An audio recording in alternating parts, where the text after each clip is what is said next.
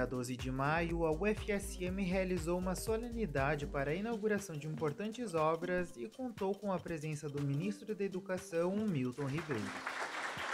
Quero dizer, em primeiro lugar, que eu sou um devedor à escola pública. Eu estudei a minha vida toda em escola pública.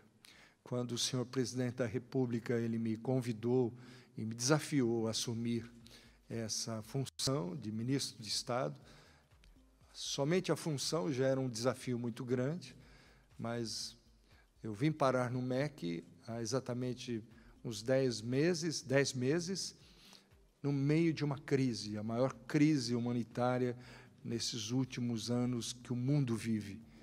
Ser ministro da Educação não é brincadeira num, num país continental como o nosso. Mas nós temos que trabalhar e caminhar, caminhar, tentando fazer o melhor para a educação brasileira. Esse é o meu compromisso. Eu quero que o senhor reitor e aquele que for sucedê-lo saiba que lá no MEC hoje nós temos um educador, Durante a cerimônia que foi transmitida pelo canal do YouTube da UFSM, o reitor Paulo Burman reforçou ao ministro e às autoridades presentes a atuação e importância da instituição. A UFSM, aos 61 anos de, de sua fundação, é a primeira universidade federal criada fora do eixo das capitais, constituída como um marco histórico para o desenvolvimento e para a interiorização do ensino superior no Brasil. Temos primado por acreditar no futuro melhor, com responsabilidade, de uma gestão pública inovadora, de diálogo, democrática, inclusiva e planejada para o melhor investir os recursos públicos em nome da coletividade.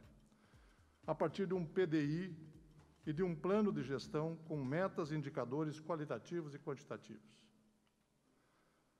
Esta multiversidade de todos que aposta em políticas públicas para educação, ciência e tecnologia, é uma universidade pública de todas as ideologias, de todas as crenças, de todas as ideias, de todas as cores, de todos os gêneros e de todas as raças e etnias. Somos a décima universidade no mundo em produção científica feitas, feita pelas mãos e cérebros de mulheres. Estamos entre as 300 universidades mais inclusivas do mundo e figuramos entre as 14 universidades melhores do Brasil. Ao mesmo tempo em que temos o maior e melhor programa de assistência estudantil da América Latina, somos a universidade mais empreendedora e inovadora do sul do Brasil. Temos um hospital universitário administrado pela IBSER, focado em ensino, pesquisa e extensão, inserido no Sistema Único de Saúde, dando cobertura a uma população regional estimada em 2 milhões de pessoas. Duas das obras inauguradas fazem parte da parceria firmada entre a Empresa Brasileira de Serviços Hospitalares e a UFSM e estão localizadas no Hospital Universitário de Santa Maria, sendo elas a nova central de UTIs, que contará com 62 leitos, e uma central de laboratórios. o hospital universitário é universitário. Ele tem, me permitam colocar, né, é, duas grandes entregas, que é ao paciente, que depende do SUS, qualidade e, principalmente, saúde. E aos nossos alunos, né, que acorrem tanto para a parte da graduação como para a parte da pós-graduação, aquela questão que é muito importante, né, uma formação digna para multiplicar qualidade. É neste cenário, então, que nós vemos duas obras né, chegando ao seu final, ou seja, um dia alguém teve iniciativa, né, a central né, de UTI, hoje, ela completando oito anos, ela está pronta. Não foi fácil, mas tivemos a acabativa.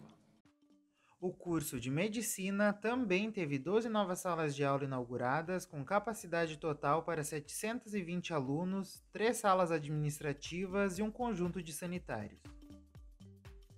Outras obras inauguradas foram a Casa do Estudante de Cachoeira do Sul, com aproximadamente 1.947 metros quadrados, a Casa do Estudante 2 de Palmeira das Missões, com aproximadamente 980 metros quadrados, o Bloco 5 do campus de Frederico Westphalen e a ampliação do prédio 16B do Centro de Educação de Santa Maria.